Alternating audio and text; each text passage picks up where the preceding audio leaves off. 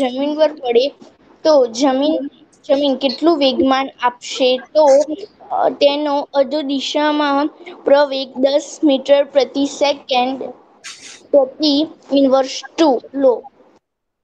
બરાબર. અને દસ મીટર પ્રતિ સેકન્ડ આ રીતે વાંચવાનું. દસ મીટર પ્રતિ સેકન્ડ સ્ક્વેર અથવા આ રીતે વાંચી શકાય. દસ મીટર ઇન્ટુ સેકન્ડ ની માઇનસ બે ઘાત. અથવા આ રીતે વાંચી શકાય. દસ metre into second raise to minus two. એટલે ત્રણે ત્રણ ભાષા જુદી છે. ત્રણ વાક્યો જુદા છે. એટલે એ તમારે અંદર અંદર મિક્સ ના થઈ જાય વાંચતી વખતે દરેકે ધ્યાન રાખવાનું. ચાલો, આપણો જે નિયમ છે, એ નિયમ અનુસાર આપણે જો આગળ વધીએ તો સૌથી પહેલા રકમમાં જે માહિતી આપી છે એને અલગ તારવવાની સૌથી પહેલી માહિતી છે આપણી જોડે કે ડમ્બેલનું દળ એમ બરાબર દસ કિલોગ્રામ. તો એ આપણે પહેલી માહિતી લખી નાખી. ડમ્બેલનું દળ એમ બરાબર દસ કિલોગ્રામ. પછી એસી સેન્ટીમીટરની ઊંચાઈએથી પડે છે. એસી સેન્ટીમીટર એટલે તમે હાથ હાથમાં રાખીને પણ એને છુટ્ટી મૂકી શકો. એટલે અહીંયા લખ્યું છે કે જમીનથી ડમ્બેલની ઊંચાઈ એચ બરાબર એસી સેન્ટીમીટર. અને એસી ભાગ્યા સો કરો ને, અહીંયા ભાગ્યા સો એટલે એ પછી મીટરમાં ફેરવાઈ જાય. એટલે જવાબ આવે પોઈન્ટ આઠ મીટર. બરાબર? અને મીટરમાં ફેરવવું પડે, કારણ કે દાખલો એક જ એકમ પદ્ધતિમાં ગણાય. મેં તમને શીખવાડેલું છે. એટલે અહીંયા જો દળ તમે કિલોગ્રામમાં રાખો, તો અંતર મીટરમાં રાખવું પડે. સમય સેકન્ડમાં રાખવો પડે. પછી જો પ્રશ્ન આપણને, પ્રશ્ન હમણાં પછી થોડી વાર રહીને લઉં. એના પહેલા બીજી એક માહિતી આપી છે, કહું કે અધો દિશામાં પ્રવેગ દસ મીટર પ્રતિ સેકન્ડ સ્ક્વેર લેવાનો. હવે આ જે પ્રવેગ છે, દસ મીટર પ્રતિ સેકન્ડ સ્ક્વેર, એ ગુરુત્વ પ્રવેગ જ છે. એટલે કે પૃથ્વીનું જે ગુરુત્વાકર્ષણ બળ લાગે છે વસ્તુ ઉપર, વસ્તુ તરીકે હાલ ડમ્બેલ છે, તે દર દર સેકન્ડે ડમ્બેલના વેગમાં દસ મીટર પ્રતિ સેકન્ડનો વધારો થાય છે. આવું કહેવાય. જો પ્રવેગ દસ હોય તો આમ તો પ્રવેગ ગુરુત્વ પ્રવેગ કેટલો? કોણ કહેશે? ગુરુત્વ પ્રવેગની વેલ્યુ આમ કેટલી? નવ પોઈન્ટ આઠ. નવ પોઈન્ટ આઠ. મીટર પ્રતિ સેકન્ડ સ્ક્વેર. પણ સરળતા ખાતર ગણતરીની સરળતા ખાતર આપણે ઘણી બધી જગ્યાએ એને દસ લઈ લેવામાં આવે છે. ચલો. બીજી એક માહિતી ઘણા બધા ગતિશાસ્ત્રના દાખલામાં આવે છે. તમને એવું આપે કે જમીન પર પડે જમીન પર પડે, બરાબર? એટલે એનો મતલબ કે તમે છૂટું જ મૂક્યું છે એવું માનવાનું. આ વાક્યથી આપણે હવે આ વાક્યોના પ્રાસ બેસાડવાના મનમાં કે વાક્ય જે કહેવા માંગે છે સમજી જવાનું. આ વાક્ય એટલું કહેવા માંગે છે કે પ્રારંભમાં તમે એને ધક્કો નથી માર્યો. એટલે પ્રારંભિક વેગ એનો શૂન્ય છે. એટલે અહીં લખીએ આપણે પ્રારંભિક વેગ યુ બરાબર ઝીરો તમે ધક્કો મારો ને કંઈક શરૂઆતનો વેગ આપો તો યુ બરાબર ઝીરો ના આવે, પણ કંઈક વેગ આવે. પણ અહીંયા વેગ ઝીરો છે. ચલો, હવે આગળ વધીએ. હવે બે પ્રશ્નો છે. એક, અંતિમ વેગ કેટલો અને વેગમાન કેટલો? એટલે અંતિમ વેગ એકચ્યુઅલી રકમમાં નથી પૂછ્યું, રકમમાં તમને આવું પૂછ્યું છે. જુઓ. તો જમીન કેટલું વેગમાન આપશે?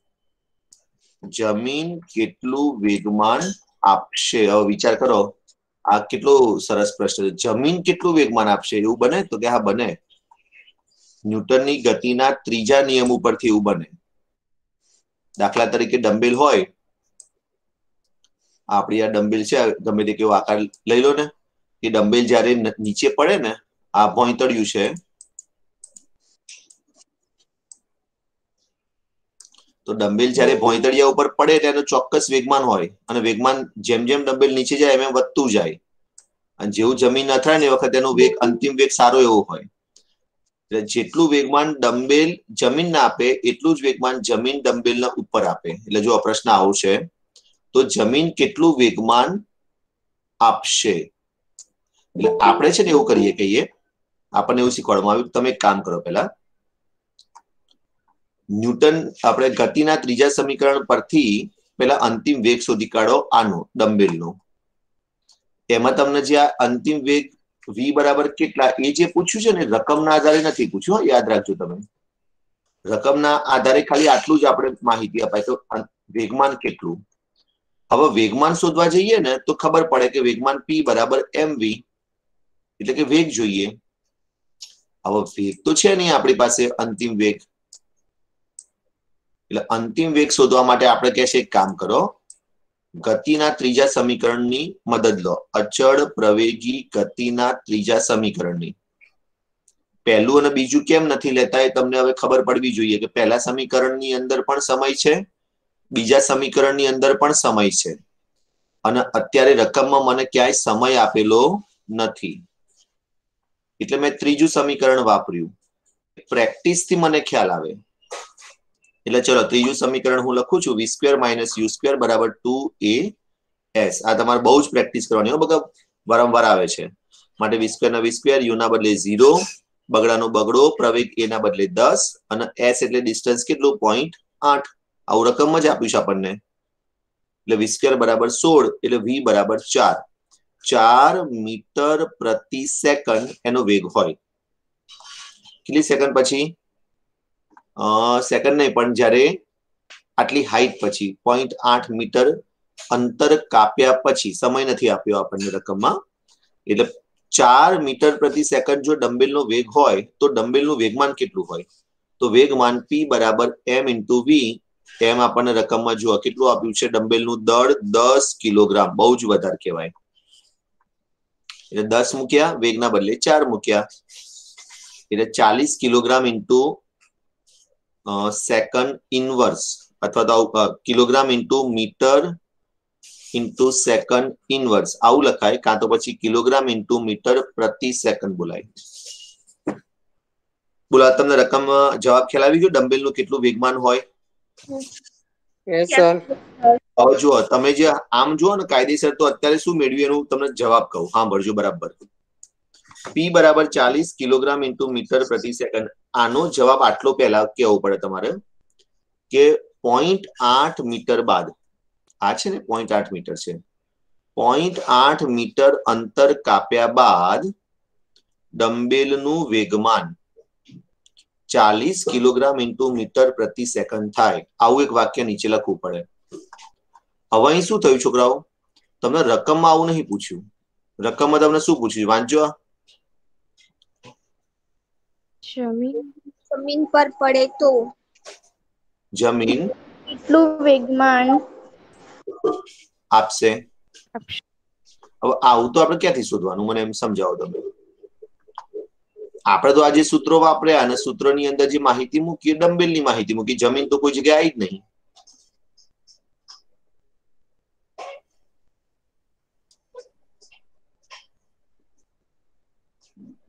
તો એના માટે એક વાક્ય ઉમેરવું પડે કે ન્યૂટનની ગતિના ત્રીજા નિયમ અનુસાર ડમ્બેલ જેટલું વેગમાન જમીનને આપશે, અથડાય, એટલે એ ધડ દઈને અથડાય, એટલે જમીન એટલો ધક્કો મારે, એટલે જમીન પણ એટલો ધક્કો પાછો ડમ્બેલ પર મારે, એટલે એટલું વેગમાન ડમ્બેલ ના આપે. ન્યૂટનની ગતિના ત્રીજા નિયમ અનુસાર. પણ એ વાક્ય લખ્યું નથી, ડાયરેક્ટ આ જવાબ, એ જ આપણો જવાબ રાખ્યો છે, પણ મેં તમને મૌખિક સમજાવ્યું. જમીન પણ પરત એટલું ને એટલું જ વેગમાન આપે. બોલો ક્લિયર થઈ ગયું યસ સર યસ સર ચાલો સરસ દાખલો ગણવાનો. કેટલી વાર ગણવાનો? ત્રણ વાર. બે વાર નહીં ત્રણ વાર. એક વખત તો પેરમાં મિનિમમ અને બે વાર. હા બોલો. KG into metre into second છે. એની જગ્યાએ ન્યૂટન લખે તો ચાલે ને? ન્યૂટન લખીએ તો ના ચાલે. એની જગ્યાએ લખવું પડે ન્યૂટન ઇન્ટુ સેકન્ડ હું તમને બતાવું. એ આપણે લાસ્ટ લેક્ચરમાં ચર્ચા કરી હતી. કાં તો તમે કેજી ઇન્ટુ મીટર પ્રતિ સેકન્ડ લખો અથવા ન્યૂટન ઇન્ટુ સેકન્ડ લખો. બરાબર? તમારા આ એકમના અંશમાન છેદમાં સેકન્ડ સેકન્ડ વડે ગુણો ને, એટલે કિલોગ્રામ ઇન્ટુ મીટર પ્રતિ સેકન્ડ સ્ક્વેર જે બને એને કહેવાય ન્યૂટન અને અંશમાં એક સેકન્ડ વધે, એ સેકન્ડ બાજુમાં એમનો એમ જ રહે. એ વેગમાનનો એકમ છે. આ બંને વેગમાનના એકમ છે. બંને એકમ વેગમાનના છે. ચાલો હવે આગળ વધીએ. દાખલા નંબર દસ. કોક રકમ વાંચો. સ્થિર અવસ્થામાં રહેતી એક ટ્રક કોઈ ટેકરી પરથી નીચે તરફ આગળ અચળ અચળ પ્રવેગથી ગતિની શરૂઆત કરે છે. ત્રેવીસ સેકન્ડમાં ચારસો મીટર અંતર કાપે છે. તેનો પ્રવેગ શોધો. જો તેનું દર સાત ટન હોય તો તેના પર લાગતું બળ શોધો. એક ટન બરાબર એક હજાર કેજી. સૌથી પહેલા કોઈ પણ દાખલો જોઈને ગભરે નહીં જવાનું. માહિતી લખતા શીખવાની. એટલે આપણે સૌથી પહેલા માહિતી તારવી લઈએ. સ્થિર અવસ્થામાં રહેલી એક ટ્રક, એટલે આ માહિતી આપણને આટલી મળે છે કે ટ્રકનો પ્રારંભિક વેગ કેટલો છે? ઝીરો. ટ્રકનો પ્રારંભિક વેગ કેટલો છે? કે છે? ઝીરો. એટલે આપણે પહેલી માહિતી અહીંયા લખી નાખીએ. યુ બરાબર ઝીરો હવે તે અચળ પ્રવેગથી ગતિની શરૂઆત કરે છે. હવે આ વાક્ય જ્યારે આવે ને, અચળ પ્રવેગથી ગતિની શરૂઆત કરે છે, એ એવું કે છે કે તમે અચળ પ્રવેગી ગતિના સૂત્રો વાપરી શકશો. ત્રણ સૂત્રો છે.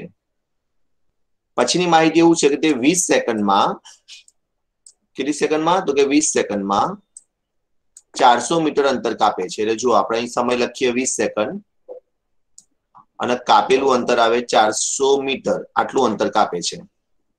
હવે કે છે એનો પ્રવેગ શોધો. એટલે પ્રવેગ એ બરાબર કેટલું? તમે પ્રવેગ શોધો ને, એટલે પછીનું વાક્ય તમારે હાલ વાંચવાની જરૂર નથી. તમને બળ મળી જ જશે. એફ બરાબર એમ એ પરથી.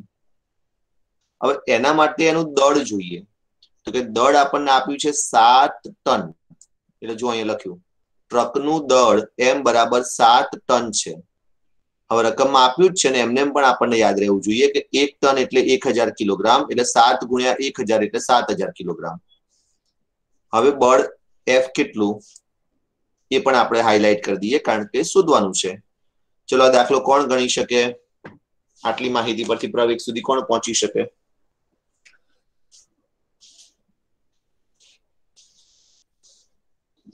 ભૈલાઓ બોલો. જ સમજાવો ચલો હેત ચાન્સ આપીએ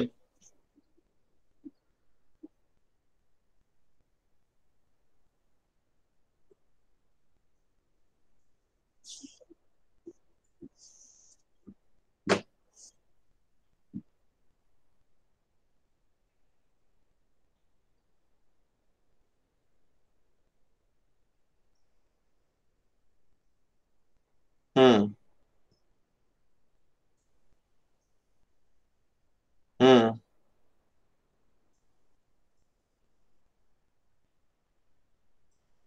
હમ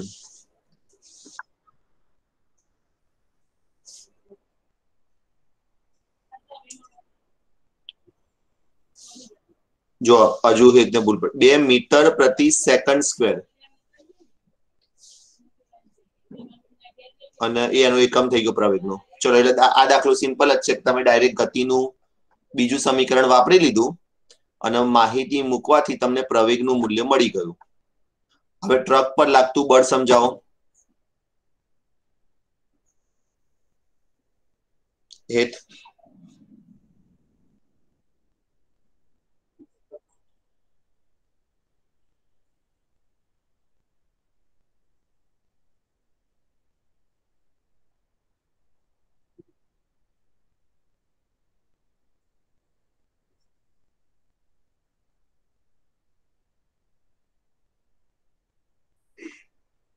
બરાબર છે. એટલે આમ છે ને, દાખલો બહુ નાનો અને સરળ છે કે ભાઈ કોઈ ટ્રક હોય અને ટ્રક સ્થિર પડ્યો હોય અને પછી એવું હોય તમે એને એક્સિલરેટર દબાવો અથવા તો અહીં રકમમાં આપ્યું છે એમ કોઈ ટેકરી પરથી નીચેની તરફ સરકવા લાગે એની જાતે, કોઈ પણ રીતે, તો જો અચળ પ્રવેગી ગતિ કરે અને થોડું અંતર કાપે, તો એનો પ્રવેગ મળે તમને. અને એનું દળ હોય એટલે એની ઉપર બળ લાગે. પ્રવેગમાં એટલે બળ હોય જ, બે જણા જોડે જ છે ડાબી જમણે. એટલે તમે બંને પદ સરળતાથી કિંમત મૂકીને શોધી શકો છો. આમ ટ્રકનો પ્રવેગ એ બરાબર બે મીટર પ્રતિ સેકન્ડ સ્ક્વેર અને તેના પર લાગતું બળ ચૌદ હજાર ન્યૂટન થાય. ઠીક છે? ચલો આ એક સરસ દાખલો આપણે લઈ લીધો. બધાને ક્લિયર થઈ ગયો હોય તો આગળ લઉં? બીજો દાખલો? યસ સર Yes, છે. બીજું કોઈ વાત વાત વાંચો મૌનીબેન વાંચો તો. એક કિલોગ્રામ દ્રવ્યમાન ધરાવતા એક પથ્થરને વીસ મીટર પ્રતિ સેકન્ડ ના વેગથી તળાવની તણાવની થીજી ગયેલ પાણીની સપાટી પર સપાટીને સમાંતર ફેંકવામાં આવે છે. પથ્થર પચાસ મીટર અંતર કાપ્યા બાદ અટકી જાય છે. પથ્થર અને બરફ વચ્ચે લાગતું ઘર્ષણ બળ કેટલું હશે? જો આ દાખલો પણ સરળ છે. પણ હવે સમજવા જેવી વસ્તુ એક આવે છે અહીંયા. કે તમને એવું પ્રશ્ન પૂછ્યું, ફરીથી ઘર્ષણ બળ કેટલું? પથ્થર અને બરફ વચ્ચે ઘર્ષણ બળ કેટલું? હવે ઘર્ષણ બળ એ વન ટાઈપ ઓફ બળ છે. બળનું એક જ સૂત્ર છે, એટલું યાદ રાખજો. તમે ક્યારેય બળના સૂત્રમાં કન્ફ્યુઝ નહીં થવાનું. બળનું એક જ સૂત્ર છે, બળ એફ બરાબર એમ એ. એમાં દળ જોઈએ અને પ્રવેગ જોઈએ. પ્રવેગ શોધવા માટે તમારી પાસે ત્રણ સૂત્રો છે. અને જો અહીંયા લખ્યું છે, ગતિના ત્રીજા સમીકરણ પરથી. એટલે આ દાખલો તમે ઉપરના જે બે ત્રણ દાખલા ગણ્યા ને, એ ક્રમમાં જ છે. તો આપણે માહિતી પહેલા ખેંચી લઈએ. પથ્થરનું દળ એક કિલોગ્રામ. પથ્થરનો પ્રારંભિક વેગ વીસ મીટર પ્રતિ સેકન્ડ. અચ્છા, પથ્થરનો અંતિમ વેગ જીરો કેમ લખ્યું? તો જુઓ, અહીં ગાડી રકમમાં પ્રારંભિક એક વીસ મીટર ઇન્ટુ સેકન્ડ છે. ના પ્રારંભિક વેગ વીસ છે પણ તમને વાક્ય આપ્યું. કારણે સ્થિર થઈ જાય છે નીચે. અરે જો અટકી જાય છે. બરાબર? અટકી જાય છે. એટલે અટકી જાય એટલે એનો અંતિમ વેગ કેટલો થઈ જાય બકા? ઝીરો. પ્રારંભિક વેગ રકમ આપ્યું છે. વીસ મીટર પ્રતિ સેકન્ડ. ચલો. કેટલા મીટર અંતર કાપ્યા પછી અટકે છે? તો કે પચાસ મીટર. એટલે એસ બરાબર પચાસ મીટર. એટલે એ માહિતી પણ અહીંયા છે, એસ બરાબર પચાસ મીટર. આટલી માહિતી હોય તો તમે પ્રવેગ આરામથી શોધી શકો, છોકરાઓ. ગતિનું ત્રીજું સમીકરણ, V square minus U square બરાબર ટુ એ એસ. માટે ઝીરો સ્ક્વેર વીની વેલ્યુ, યુની વેલ્યુ વીસ નો વર્ગ બગડાનો બગડો, પ્રવેગના બદલે શોધવાના, એટલે પ્રવેગનો સંકેત, અને એસ ના બદલે પચાસ. માટે માઇનસ ચારસો બરાબર સો ગુણ્યા એ માટે પ્રવેગ એ બરાબર માઇનસ ચારસો ભાગ્યા સો, એટલે પ્રવેગ એ બરાબર માઇનસ ચાર મીટર પ્રતિ સેકન્ડ સ્ક્વેર. જો હું બોલું છે સમજો બરાબર. મીટર પ્રતિ સેકન્ડ સ્ક્વેર. આ રીતે વંચાય. માટે એક જવાબ તમને મળી ગયો ઘર્ષણ બળ ચાર. ઓકે? હવે અહીંયા મૂકી દો ઘર્ષણ બળ એફ સોરી પ્રવેગ બરાબર માઇનસ ચાર મળ્યો. માઇનસ કેમ મળ્યો એનું કારણ ખબર પડી તમને? કારણ કે તે ઉપર માઇનસ ચિહ્ન છે. વાક્યમાં તમારે કેવું હોય ને એવું કહેવાય કે આ એક એવી ઘટના હતી કે જેમાં પ્રારંભિક વેગ વધારે હતો ને અંતિમ વેગ ઓછો હતો. એટલે આ ગતિ અટકી રહી હતી માટે. ચાલો, હવે એફ ના સૂત્રમાં દળની વેલ્યુ એક મૂકીએ અને પ્રવેગની વેલ્યુ માઇનસ ચાર મૂકીએ એટલે તમને જવાબ મળી ગયો એફ બરાબર માઇનસ ચાર ન્યૂટન. જુઓ, આ જે ન્યૂટન સંકેત છે ને ભાઈ, એને ધ્યાનથી જુઓ, એ એની સાઈઝ એફની સાઈઝની હોય. પછી આ જે મીટર સંકેત છે ને, મીટર અને સેકન્ડ, એ સ્મોલ એબીસીડી માં હોય. સ્મોલ એની સાઇઝના પછી જે સો નો આંકડો છે અને એ નો આંકડો છે, એ આ રીતે હોય. સો મોટા હોય ને, એ નાના હોય. ટ્રાય કરવાનો, આપણે નોટ પેનમાં લખવાનો. બાકી તમે ઘણી વાર લખી નથી શકતા આપણે, પણ પદ્ધતિ આ જ છે. કેપિટલ એન છે અને આ કેપિટલ એફ છે ફોર્સ નો. એટલે બંનેની સાઈઝ સરખી હોવી જોઈએ. ચાલો. આમ પથ્થર અને બરફ વચ્ચે લાગતું ઘર્ષણ બળ એફ બરાબર માઇનસ ચાર ન્યૂટન થાય. ક્લિયર બહુ સિમ્પલ દાખલો છે નાનો. બોલો ભાઈ ક્લિયર થયું હોય તો પછી આગળ વધુ. બરાબર? ત્રણ દાખલા અત્યારે આપણે લીધા નવ દસ અગિયાર. હવે બારમો દાખલો લઈ લઈએ. અને આઠ ને એકવીસ થઈ છે એટલે બારમો દાખલો એક દાખલો બારમો પતી ગયો ને આપણે? Yes, યસ સર યસ બારમો પતી ગયો છે બરાબર? મેં ડિટેલમાં ચર્ચા કરી હતી આનો સુધારા બી કરાયા હતા. ત્રણ પોઈન્ટ પાંચની બદલે આનો કંઈક એક પોઈન્ટ સાત સમથિંગ જે જવાબ આવે છે જોઈ લેજો. તમે જ્યારે બળ મૂકો સૂત્ર પછી દળમાં બધાનું દળ લેવું પડે. બધા ડબ્બાનું અને એન્જિનના દળનો પણ સરવાળો કરવો પડે. આ એક વાક્ય જ યાદ રાખજો પછી તમે ગણતરી કરી શકો. ચલો તેરમો દાખલો તેરમો દાખલો એ પતી ગયો.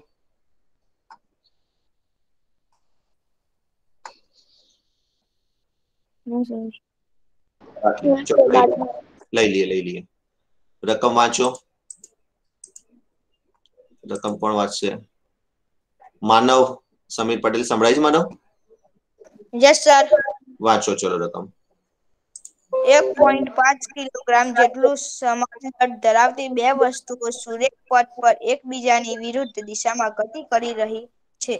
પહેલા બંનેનો વેગ બે પોઈન્ટ પાંચ મીટર પ્રતિ સેકન્ડ છે. જો અથડામણ બાદ બંને વસ્તુઓ એકબીજા સાથે જોડાઈ જતી હોય તો તેમનો વેગ કેટલો હશે? તેમનો સંયુક્ત વેગ કેટલો હશે? આ પતી ગયું બકા લગભગ. આ દાખલો આપણો પૂરો થઈ ગયો છે છતાં હું તમને ફરી ચલાવી દઉં છું. યસ સર પૂરો થઈ ગયો ને? યસ સર થઈ ગયો જો શોર્ટમાં રિપીટ આપણે રકમ વાંચી છે તો સમજાઈ દઉં. વેગમાન સંરક્ષણનો નિયમ તમે જ્યારે વાપરો ને એમાં આવું થાય કે અથડામણ પહેલાનું વેગમાન ને અથડામણ પછીનું વેગમાન સરખું હોય. એટલે એમ વન યુ વન એક પથ્થરનું પહેલાની સ્થિતિ વત્તા એમ ટુ યુ ટુ બીજા પથ્થરની પહેલાની સ્થિતિ.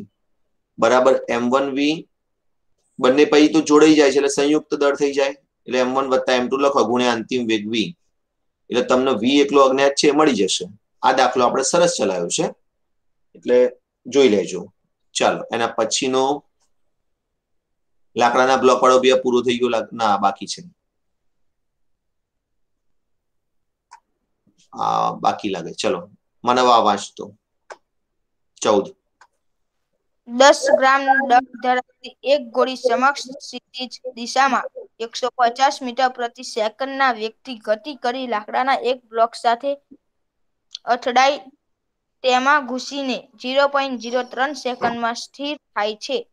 ગોળીએ બ્લોકમાં ઘૂસ્યા બાદ કેટલું અંતર કાપ્યું હશે? લાકડાના બ્લોક દ્વારા ગોળી પર લાગતા બળના મૂલ્યની પણ ગણતરી કરો. બહુ મસ્ત દાખલો છે. ચાલો શરૂ કરીએ. સૌથી પહેલા માહિતી. ગોળીનું જે દળ છે ને, ગ્રામમાં આપ્યું છે દસ ગ્રામ દળ. એટલે અહીં ગોળીનું દળ દસ ગ્રામ, એટલે એને તમારે સો વડે ભાગવા પડે. એટલે સોરી કિલોગ્રામ છે એટલે એક હજાર વડે ભાગવા પડે. એટલે ઝીરો પોઈન્ટ ઝીરો વન કિલોગ્રામમાં એનું દળ થાય. દસ ગ્રામ ભાગ્યા એક હજાર કરો ને, એટલે કિલોગ્રામમાં ફેરવાય. એટલે પહેલી માહિતી બધાને ખબર પડી. ગોળીનું દળ zero point zero one kilogram કહેવાય. ઓકે આગળ. હવે એ એકસો પચાસ મીટર પ્રતિ સેકન્ડના વેગથી ગતિ કરતી હતી. એટલે એનો પ્રારંભિક વેગ યુ બરાબર એકસો પચાસ મીટર પ્રતિ સેકન્ડ. પછી આ ગોળી છે ને લાકડાના બ્લોકમાં ઘૂસીને સ્થિર થઈ જાય છે. એટલે અંતિમ વેગ જીરો. સ્થિર થઈ જાય એટલે અંતિમ વેગ કેટલો થાય? ઝીરો થઈ જાય. પછી ગોળીએ બ્લોકમાં ઘૂસ્યા બાદ કેટલું અંતર કાપ્યું હશે? એટલે જો આ રહ્યું, અંતર એસ બરાબર કેટલું? પછી કહે છે ઝીરો પોઈન્ટ ઝીરો ત્રણ સેકન્ડમાં આ સ્થિર થાય છે. એટલે એકચ્યુઅલી આપણો સમય હવામાં જે ગોળીએ પસાર કર્યો નહીં ગણવાનું, બ્લોકમાં ગોળીએ કેટલો ટાઈમ સુધી ગતિ કરીને સ્થિર થઈ? તો ઝીરો પોઈન્ટ ઝીરો ત્રણ સેકન્ડ, તો એ આપણો સમય થયો. આપણી ગણતરીનો સમય આટલો જ છે. હવામાં ભલે ગોળી ગમે તેટલી ફરી હોય પણ આપણો અત્યારે આટલો જ સમય છે. તો કે લાકડાના બ્લોક પર લાગતા બળના મૂલ્યની ગણતરી કરો, એટલે બળ તમારે ગણવાનું છે, એટલે ત્રીજો પ્રશ્ન મૂક્યો એફ બરાબર કેટલું? ઓકે? ચાલો, બધી માહિતી આપણે તારવી લીધી. અને તમને બધાને હવે ખબર પડી જ ગવી જોઈએ કે બળ માગ્યું હોય, એટલે કયું સૂત્ર આવે? એક જ સૂત્ર છે બળનું. એફ બરાબર એમ એ ખબર પડે છે કે નહીં યસ એફ સર બરાબર એમ એ એક જ સૂત્ર છે. પ્રવેગ શોધવા માટે તમે ગતિના ત્રણ સૂત્રો મગજમાં વિચારો છો. એમાંથી એક સૂત્ર વાપરો છો. ચાલો અહીંયા હું ગતિનું પ્રથમ સૂત્ર વાપરી લઉં. વી બરાબર યુ પ્લસ એટી અથવા આપણે આવું હતું. વી માઇનસ યુ બરાબર એટી એટલે અંતિમ વેગ વી બરાબર ઝીરો યુની વેલ્યુ એકસો પચાસ. ધીરે ધીરે મૂકતા જવા હં. પ્રવેગ શોધવાનો છે. સમયની વેલ્યુ ઝીરો પોઈન્ટ ઝીરો ત્રણ માટે માઇનસ એકસો પચાસ બરાબર ઝીરો પોઈન્ટ ઝીરો ત્રણ ગુણ્યા એ. માટે એ બરાબર માઇનસ એકસો પચાસ ભાગ્યા ઝીરો પોઈન્ટ ઝીરો ત્રણ. એટલે પ્રવેગની વેલ્યુ આવી માઇનસ પાંચ હજાર મીટર પ્રતિ સેકન્ડ સ્ક્વેર. હવે વિચાર કલ્પના કરો, તમે અત્યાર સુધી પ્રવેગ છે ને દસ લેતા હતા ગુરુત્વ પ્રવેગ હા.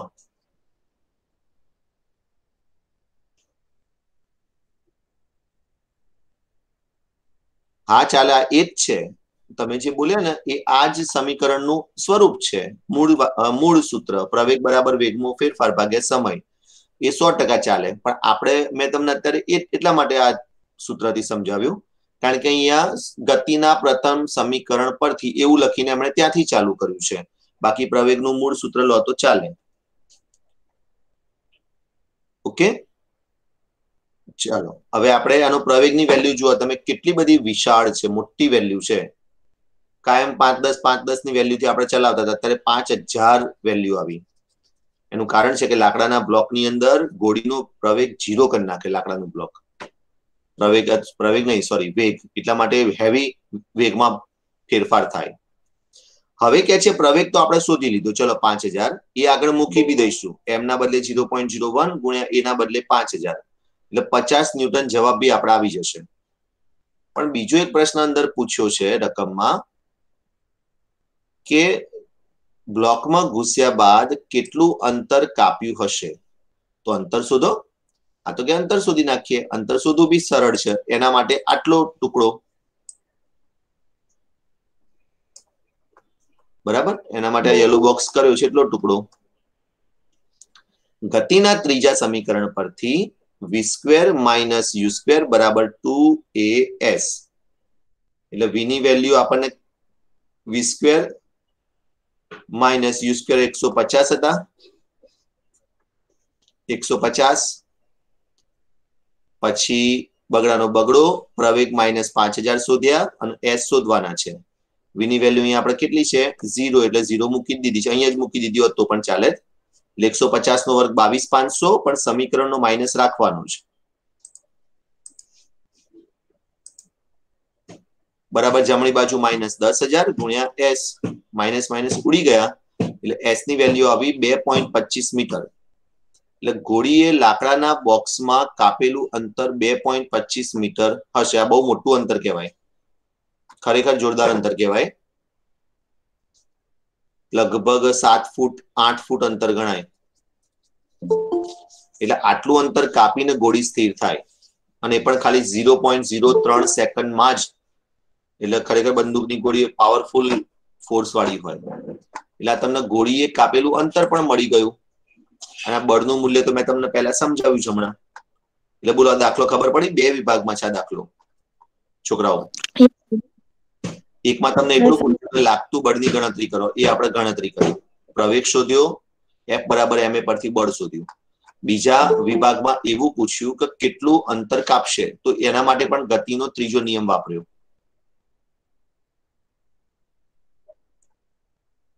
અંતરનું સૂત્ર નંબર બે. વાપરી શકાય ને એમાં યુ પણ છે, ટી તમારી જોડે જીરો પોઈન્ટ જીરો ત્રણ છે, પછી એ છે પાંચ હજાર, માઇનસ પાંચ હજાર અને ટી છે. ચોક્કસ વાપરી શકાય. એમાં બી આ જવાબ આવે.